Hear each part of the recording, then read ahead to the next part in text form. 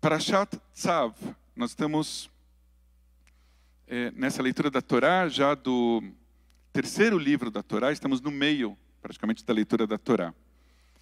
Querido Bruno, querido Felipe, chegou o momento do Bar Mitzvah de vocês, que começou na quinta-feira, hoje ainda estamos comemorando esse período em que vocês se tornam Bnei Mitzvah. Eu fiquei pensando sobre o sentido da palavra Bar Mitzvah. A primeira palavra, bar, é uma expressão mais antiga, uma forma mais antiga da palavra ben, em hebraico, que quer dizer filho. E a segunda mitzvah, enfim, que quer dizer boa ação, que quer dizer mandamento, que quer dizer muitas coisas. Aliás, filho também quer dizer muitas coisas. Para cada família, para cada pessoa, para cada momento, para cada idade. E Bruno, Felipe, vocês são filhos em dobro. Vocês são tão diferentes entre vocês, vocês são gêmeos, vocês são tão iguais também. Essa semana, vocês me fizeram me lembrar de um encontro que houve na Hebraica, no Clube Hebraica de São Paulo, um encontro promovido pela Federação Israelita do Estado de São Paulo. Esse encontro ele foi completamente focado no tema da inclusão, em vários níveis. Mediando esse encontro estava o nosso amigo e colega, e que participa também de muitas atividades em parceria aqui com a Betel, Rabino Newton Bonder, da Congregação Judaica do Brasil, do Rio de Janeiro. E o Rabino Bonder disse assim que nós como pessoas gostamos de falar que somos todos iguais, que todos deveríamos ter os mesmos direitos e os mesmos deveres. E é verdade. Mas que, por outro lado, nós todos somos diferentes. A começar por aquilo que cada um de nós acha que todo mundo deveria pensar igual. Nós somos diferentes. E também todos nós somos iguais, no fato de cada um de nós igualmente pensar diferente uns dos outros. Bruno e Felipe já falei que vocês são iguais, mas diferentes. A questão mais aparente da diferença de vocês para mim é que um tem óculos e cabelos longos, e o outro não tem óculos e tem cabelos curtos. E que eu até hoje faço confusão sobre quem é um, quem é o outro. Um, um pouco menos óbvio, é poder ver como é que vocês estudaram para o momento do bar mitzvah de vocês. Um de vocês fez as bênçãos da Torá cantando e leu na Torá, lido como se fosse um livro. O outro fez as bênçãos da Torá, lido como se fosse um livro, e leu na Torá cantando. Um complementa o outro. Para variar, vou parar de falar das diferenças entre vocês e falar no que, que vocês têm em comum. Vocês têm em comum o mesmo pai e a mesma mãe. O Michel e a Denise. Vocês têm como igual o nome judaico que homenageia um avô. Mas aqui também tem uma singularidade. Bruno, você é Ignas. Felipe, você é Isaac. Ignas ben Michael ve'ahava, Isaac ben Michael ve'ahava. Vamos falar um pouquinho sobre os nomes dos pais de vocês, que tanto inspiram vocês. O Michel é Michael. Dizem os nossos sábios, no Midrash, que Michael é o anjo protetor do povo de Israel. Foi Michael, Michael tem uma série de ações incríveis, eu só destaquei algumas. Michael foi quem salvou Abraão de dentro de uma fornalha, história contada no Midrash, mas não na Torá, ele foi atirado nessa fornalha, uma pena capital, pelo rei Nimrod, e foi salvo por Abrão. O crime de Abrão foi ser monoteísta, foi ser o primeiro monoteísta, o primeiro a acreditar num único Deus. Também foi o anjo Michael que anunciou a Sara que ela teria um filho, quando ela já tinha uma idade bem avançada e nem imaginava que poderia ainda ter filhos. Também foi Micael que resgatou Lot, sobrinho de Abraão e Sara, da destruição da cidade de Sodoma. Um outro ato incrível do anjo Micael foi que ele salvou Isaac de ser sacrificado pelo próprio pai, por Abraão. E também foi ele que lutou com Jacó uma noite inteira, aparentemente tentando matar Jacó, mas não. Ele acabou ferindo Jacó na coxa. E depois disso, ele recebeu o nome de Israel. Há tantas interpretações dessa passagem famosa da Torá, mas a que o Midrash traz é uma talvez das mais criativas e bonitas. Ela diz assim: depois de uma noite em que eles lutavam, o anjo, Michael contra o homem, contra Jacó, os outros anjos chamaram Michael para participar de um coro celestial para liderar as orações de Shacharit no amanhecer. Eu poderia imaginar eles dizendo assim: Michael, Está faltando um anjo para o Minyan celestial. A reza vai começar. E Michael então decidiu ir e começou a dizer: Jacó, está na hora da gente parar a nossa briga. Só que Jacó não parava e continuava lutando contra ele. Ele Jacó, para, por favor. E Jacó continuava lutando. Até que ele feriu Jacó na coxa. E aí Jacó parou. Mas Deus não gostou disso. Deus olhou para Michael e falou: Como é que você fere Jacó? que é um dos meus é, é, sacerdotes preferidos, um dos meus homens preferidos. E aí, Michael, sem saber muito o que fazer, foi conversar com um colega dele, com o anjo Rafael, o anjo da cura, e os dois juntos, então, curaram a ferida de Jacó. E a partir daí, Michael se tornou um defensor de Jacó, e não alguém que lutava com Jacó. E Jacó se tornou Israel. Hoje os celulares estão agitados, né? Felipe e Bruno, vocês são filhos então de um homem que é tido como um defensor de Israel e que salva muitas pessoas e que luta em favor das pessoas, e vocês também são filhos da Denise, que em hebraico é a. A Ravá é amor, e vocês sabem disso. Quando eu perguntei para Denise qual era o nome dela hebraico, ela me disse: Meu nome é Amor. E eu achei tão bonito quando ela disse assim: Meu nome é Amor, porque ele demonstra o amor que eu tenho pelo meu marido, pelo homem com quem eu decidi me casar. Esse amor constrói uma vida de casal juntos. Esse amor constrói uma vida familiar juntos. Esse homem, esse homem não, esse amor, esse homem e essa mulher constroem um projeto de vida juntos, muito, muito bonito. E é desse casal, dessa mulher, desse homem que vocês são filhos, do amor e de um anjo que é o protetor de Israel. Vocês rezaram hoje o Shema. O Shema começa com uma ordem, com uma mitzvah. Ve'ahavta. Amarás o eterno seu Deus com todo o seu coração, com toda a sua alma e com toda a sua força.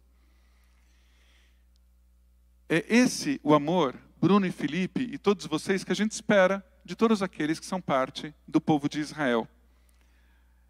Amar através do pensar, amar através do sentir, amar através principalmente das ações. Não adianta nada a gente amar a Deus racionalmente, ou a gente dizer, ah, eu tenho Deus no coração, e não fazer nada em favor do próximo para demonstrar esse amor. E então é por amor que você deve transmitir esses valores aos seus filhos no futuro, às pessoas com quem vocês cruzarem na vida. É esse amor que vocês devem ter com a família de vocês antes de deitarem, ao se levantarem, no conforto da casa de vocês ou nos desafios que vocês encontrarem pelas ruas. Bruno, Felipe, a paraxá de vocês é a paraxá deste Shabat, é a paraxá Tzav. Tzav quer dizer uma ordem. Tzav está na raiz da palavra mitzvah. E aqui eu cito um rabino e um futuro rabino. O rabino é Harold Kushner, que foi citado pelo meu grande amigo, o futuro rabino Theo Rotz, que diz assim: Nós estamos no século 21. Como a gente pode definir mitzvah para os judeus, para as judias, neste século, no século 21? A sugestão do rabino Harold Kushner é que a mitzvah não deva ser definida pela sua origem, necessariamente só pela origem divina, porque Deus mandou. Não é só porque Deus mandou, é porque a mitzvah nos leva a um destino melhor. A gente cumpre a mitzvah não porque somos obrigados, mas porque ao cumprirmos uma mitzvah, a gente pode levar uma vida melhor para outras pessoas e para o mundo em geral. O Theo desenvolve o pensamento do Rabino Kushner e diz assim: a mitzvah nos nossos tempos não pode ser mais uma obrigação, uma ordem divina, mas sim uma oportunidade. Porque nós somos livres. Então nós devemos encarar esse mandamento como uma oportunidade para tornar o mundo melhor. Felipe, Bruno, o mundo que vocês recebem nesse Shabat é um mundo que foi deixado pelos seus bisavós. Tanto pelo meu avô Isaac, seu bisavô Isaac, e a minha avó Libe, sua bisavó Libe, quanto pelos bisavós Ignash e Lola, quanto pelos seus avós e bisavós também do lado da família da sua querida mãe, da Denise, que é parte também da nossa família, da nossa comunidade. Todos esses avós deixaram para vocês um mundo muito bonito, e um mundo com grandes desafios. O mundo que os pais de vocês constroem hoje é um mundo de oportunidades, de tornar a vida não só de vocês, mas a vida de muita gente melhor, para o presente e para o futuro.